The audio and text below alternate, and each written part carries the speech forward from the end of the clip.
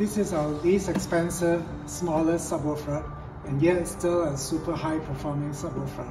Unlike the bigger brothers, this one uses a 12 inch driver uh, in a slightly smaller enclosure, so but it's still perfect as an end table.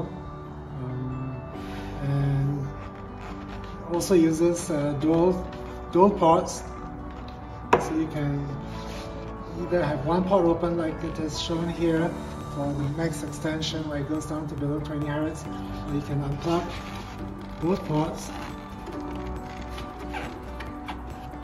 and have it in the max output mode where a much higher output but slightly less uh, deep bass extension. Uses a 250 watt amplifier so it's still very very high output compared to most subwoofers out there despite the fact it's least expensive spouse friendly subwoofer.